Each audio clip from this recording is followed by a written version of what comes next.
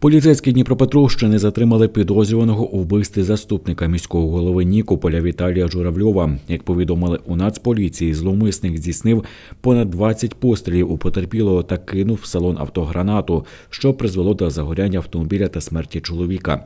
Після скоєння злочину нападник закопав зброю у лісопосадці та переховувався в орендованій квартирі, де його і затримали правоохоронці.